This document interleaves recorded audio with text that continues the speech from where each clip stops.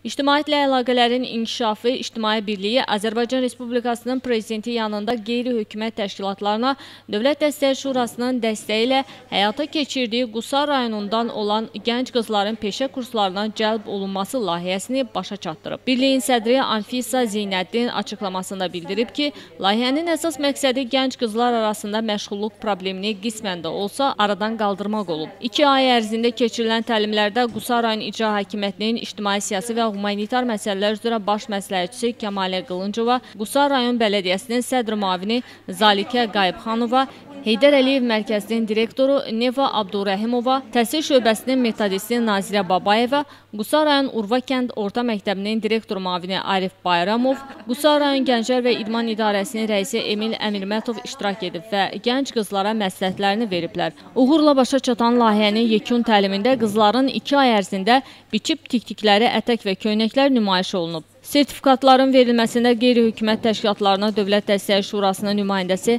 Həsən Səmədov, Kəmalə Qılıncova, Zalikə Qayıbxanova və valideynlər iştirak edib. İştirakçılara təlimlərə qatıldıqları üçün təşkilat adından təşəkkürnamələr verilib. Gültəkin Əliyeva, Binəli Tosayev, Dünya TV.